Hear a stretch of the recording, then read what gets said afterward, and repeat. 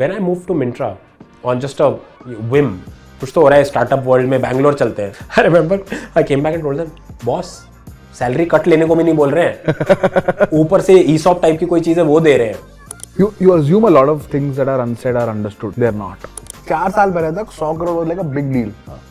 Moment we hit 100 crore, people are like, "यार, 100 करोड़ तो बहुत अभी हज़ार करोड़ वाले को बोला यार बेकार।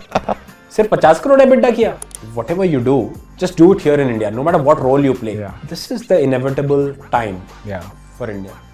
Like many of us, I have never truly faced failure in the same way that happens to you when you're a founder. Before that, if you ask me, yaar, what was the worst day I remember in my life? It was probably the day JE results came out. और यार 2641 rank आई है.